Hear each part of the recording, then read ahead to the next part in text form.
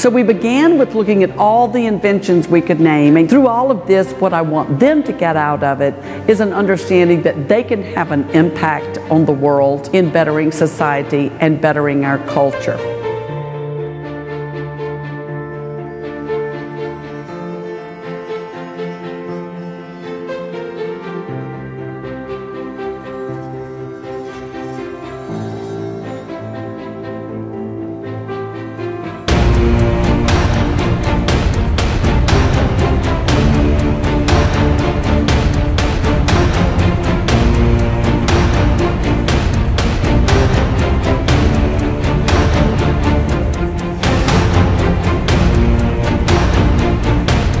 Here in this class, we are studying the composition of matter to teach them to think like scientists and to act like scientists.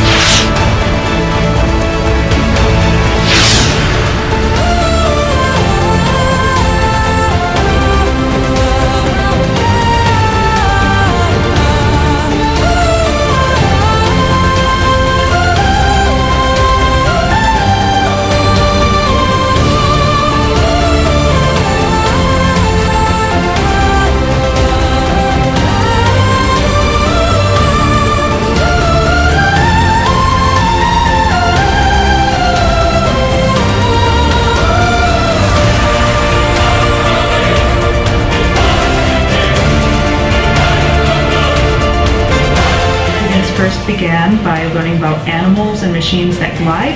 We learned about the engineering process and all the steps we follow to develop designs. We also learned a ton about aviation concepts and about water dynamics, fluid dynamics, um, about air and about electricity, and we even talked a lot about atoms.